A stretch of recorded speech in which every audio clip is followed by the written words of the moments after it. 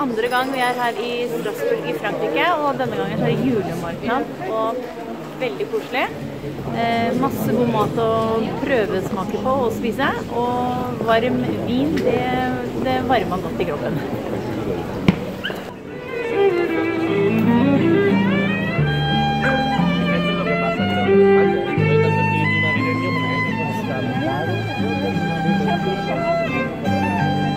Eberhard!